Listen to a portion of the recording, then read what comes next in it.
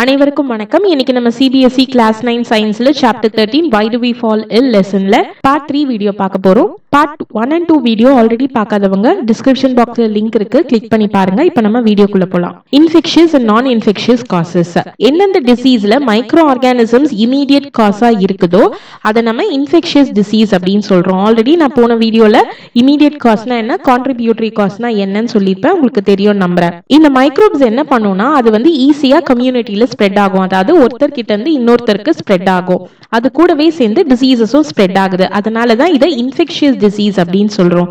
இந்த micro ஆர்கானிசம்ஸை infectious agents அப்படின்னு சொல்லலாம். சில டிசீசஸ் வந்து இந்த இன்ஃபெக்ஷியஸ் ஏஜென்ட்ஸ்னால உருவாகாது. அந்த மாதிரி டிசீசஸ் நம்ம நான் இன்ஃபெக்ஷியஸ் டிசீஸ் அப்படின்னு சொல்றோம். இந்த டிசீஸ் வந்து மோஸ்ட்லி எக்ஸ்டர்னல் ஃபேக்டர்ஸ்னால வர்றது கிடையாது.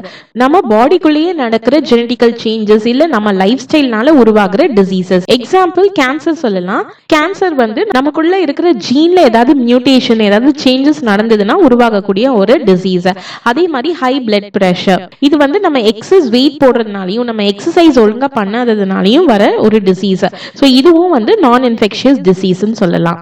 ஒரு டிசீஸ் எப்படி ஸ்ப்ரெட் ஆகுறது அப்படிங்கிறதும் அதை எப்படி ட்ரீட் பண்ணலாம் இல்லை அதை எப்படி ப்ரிவென்ட் பண்ணலாம் அப்படிங்கிறதும் அந்த டிசீஸ் வந்து இன்ஃபெக்ஷியஸ் டிசீஸா இல்லை நான் இன்ஃபெக்ஷியஸ் டிசீஸா அப்படிங்கிறத பொறுத்து தான் இருக்கு. நெக்ஸ்ட் இன்ஃபெக்ஷியஸ் ஏஜென்ட்ஸ் அப்படின்னா என்னன்னு பார்க்கலாம்.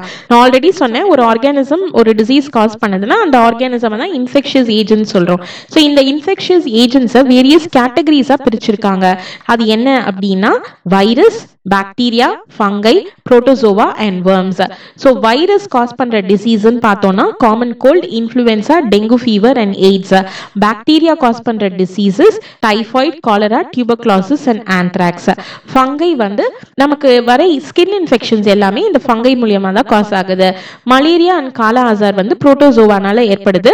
அண்ட் சில வேர்ம்ஸ் வந்து நம்ம இன்டெஸ்டைனுக்குள்ள இருக்கிறதுனால அது சில இன்ஃபெக்ஷன்ஸ் காஸ் பண்ணுது. அதே மாதிரி எலிஃபென்டியாசஸும் ஃபைலேரியல் வேர்ம்ஸ் அப்படின்னு சொல்ற வேர்ம்ஸ்னால வரதுதான் இந்த இன்ஃபெக்ஷியஸ் ஏஜென்ட்ஸை எதுக்கு கேட்டகரிஸா பிரிக்கிறாங்க அப்படின்னா அந்த டிசீஸ்க்கு எந்த ட்ரீட்மெண்ட் கொடுக்கணும் அப்படிங்கிறதுக்கு ஒரு இம்பார்ட்டன்ட் ஃபேக்டரா இது இருக்கு. இப்போ ஒரு குரூப் ஆஃப் இன்ஃபெக்ஷியஸ் ஏஜென்ட்ஸ் எடுத்துக்கிட்டோம்னு வச்சுக்கோங்க பாக்டீரியா அப்படின்னா அதுல நிறைய பாக்டீரியாஸ் இருக்கு. ஆனா இந்த எல்லா பாக்டீரியாஸும் ஆல்மோஸ்ட் காமன் கேரக்டரிஸ்டிக்ஸ் கொண்டது. அதனால அது எந்த குரூப்ல இருக்கு அப்படிங்கறத தெரிஞ்சுக்கிட்டு அதோட கேரக்டரிஸ்டிக்ஸ் தெரிஞ்சுக்கிறது மூலியமா அதை வந்து ஈஸியா ட்ரீட் பண்ண முடியும். எக்ஸாம்பிள் சொல்லணும்னா எல்லா வைரஸுமே வந்து ஹோஸ்ட் செல்குள்ள வாழக்கூடியது. ஆனா பாக்டீரியாஸ் வந்து அப்படி வாழாது. ஸோ இதுல இருந்து நமக்கு ஒரு ஒரு குரூப் ஆஃப் இன்ஃபெக்ஷியஸ் ஏஜென்ட்ஸும் எப்படி கேரக்டர்ஸ்ல டிஃபர் ஆகுது அப்படின்னு நமக்கு தெரியுது. அதே மாதிரி வைரஸ் பாக்டீரியா அண்ட் ஃபங்க இந்த மூணு குரூப்ல இருக்கிற ஆர்கானிசம்ஸ் என்ன பண்ணுதுன்னா சீக்கிரமா மல்டிப்ளை ஆயிடும். அதாவது within few minutes or few hours ஒன்னு வந்து பல மடங்கா மாறக்கூடிய தன்மை இருக்கு அதுக்கு. மல்டிப்ளை சீக்கிரமா ஆகும். இதுவே வேர்ம்ஸ் எடுத்துக்கிட்டோம்னா அது வந்து ஸ்லோவா தான் மல்டிப்ளை ஆகும். அதே மாதிரி பாக்டீரியல் குரூப் ஆஃப் ஆர்கானிசம்ஸ் பார்த்தோம்னா அதுக்குள்ள நடக்கிற இம்பார்ட்டன்ட் லைஃப் ப்ராசஸ் நிறைய வந்து வைரஸஸ்ல கிடையாது. ஒரு எக்ஸாம்பிள் கன்சிடர் பண்ணிக்கலாம். ஆன்டிபயோட்டிக்ஸ் இந்த ஆன்டிபயோட்டிக்ஸ்க்கு பாக்டீரியாக்குள்ள இருக்கிற கெமிக்கல் பாத்வேவை பிளாக் பண்ணக்கூடிய தன்மை இருக்கு. இந்த பாக்டீரியால நமக்கு தெரியும் அதோட பாடியை சுத்தி செல்வால் இருக்கு. இது வந்து பாக்டீரியாவை ப்ரொடெக்ட் பண்ணுது அப்படின்னு. ஸோ இந்த செல்வால் பில் பில்ட் பண்றதுக்குன்னு ஒரு லைஃப் ப்ராசஸ் இருக்கு. அதுக்குள்ள ஒரு பாத்வே இருக்கு. அந்த பாத்வேய பெனிசிலின் அப்படிங்கிற ஒரு ஆன்டிபயோட்டிக் ஈஸியா பிளாக் பண்ணிடும். இது பிளாக் பண்ணும்போது என்ன ஆகும்னா அந்த பாக்டீரியாவால அதோட செல் வாலை ப்ரிப்பேர் பண்ண முடியாது. ஸோ அந்த செல் வால் வளரல அப்படின்னா அந்த பாக்டீரியா ஈஸியா செத்துடும்.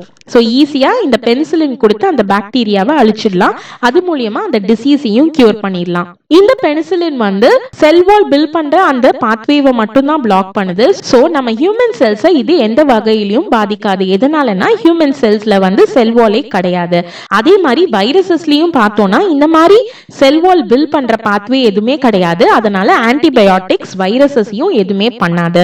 ஸோ எக்ஸாம்பிளுக்கு எடுத்துக்கிட்டோம்னா நமக்கு காமன் கோல்டு இருக்குன்னு வச்சுக்கோங்க. அந்த கோல்டுக்கு வந்து நம்ம ஆன்டிபயோட்டிக் எடுத்தா அது சரியாகாது. எதனாலனா இந்த கோல்டு அப்படிங்கிறது வைரஸ்னால உருவாகிற ஒரு இன்ஃபெக்ஷன் இதுக்கு ஆன்டிபயோட்டிக் சரிப்பட்டு வராது.